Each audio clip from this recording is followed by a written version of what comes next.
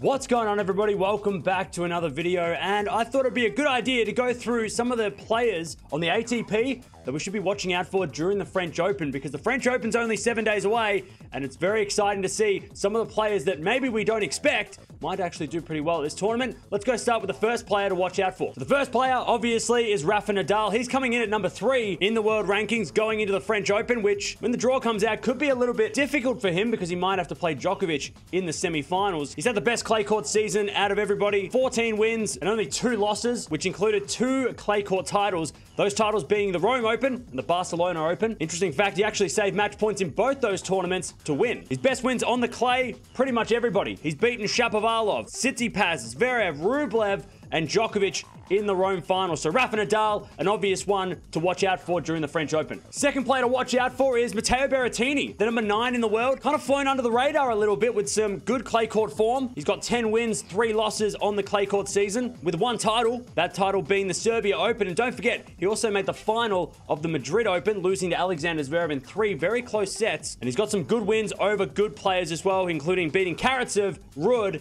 and Fognini on the clay court. So watch out for Berrettini as the number nine player in the world. Next player to watch out for, is Stefanos Tsitsipas. Number five in the world, had a great clay court season. I'd put him as the second best clay courter on the ATP for 2021 behind Rafa. Rafa just gets him with some of the big wins that he's had. But Tsitsipas, 16 wins, three losses. More wins than Rafa on the clay court so far this season, with two titles as well, equaling Rafa's total. Those titles being at the Lyon Open last week, and of course the Monte Carlo Masters, his first Masters 1000 title. And his best wins on the clay have been against Rublev, Berrettini, and Karatsev. But also don't forget that he had chances against Djokovic in Rome and also match points against Nadal in Barcelona. So Tsitsipas could be number one on the list if he had got those two wins. But still, second best player going to the French Open for me. Having a look at a player outside the top 10, Casper Ruud. He's number 16 in the world. He'll be going in as the number 16 seed. He's coming in with a lot of wins as well. 15 wins, four losses, including the one title.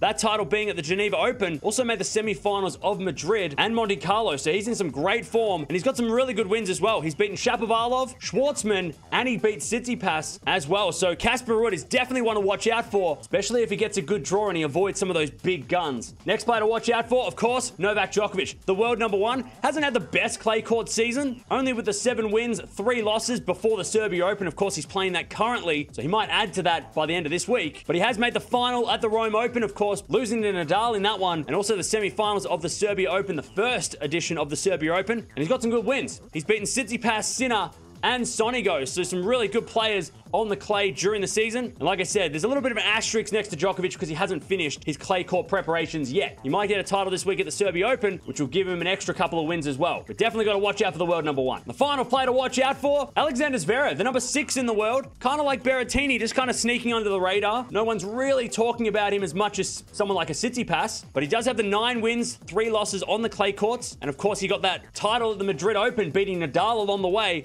And he also made the quarterfinals of Rome. So he's in some form, and we know that Zverev is an all-court player. He can play on the clay, and he's got some really good wins as well, beating Berrettini, Nadal, and Dominic Thiem. So definitely got to watch out for him if he gets a good draw, especially if, let's say the draw plays out that Nadal's in the top half against Djokovic, and Zverev gets the bottom half of the draw, where Medvedev will be the second seed. So Zverev could get pretty far at the French Open if the draw plays out in his favor. So there you have it. There are six players that I'm looking forward to watching at the French Open, and some players that probably obvious ones with Nadal and Djokovic Tsitsipas, but maybe Casper Ruud Berrettini, Zverev, maybe they're the players that you haven't really thought about because they have been sneaking under the radar. And if they do get a good draw, semi-finals are definitely up for the taking, especially if they're in Medvedev's half because we know Medvedev isn't the greatest on clay. But let me know down in the comments below. Have I forgotten anyone? Is there anybody that you're looking out for at the French Open as maybe a serious contender? Of course, we've got Dominic Thiem. Hasn't played enough for me to make him a serious contender this year. Let me know down in the comments below. Is there somebody that you're really looking forward to at the French Open this year? So a lot of players to watch out for at the French Open starting next week.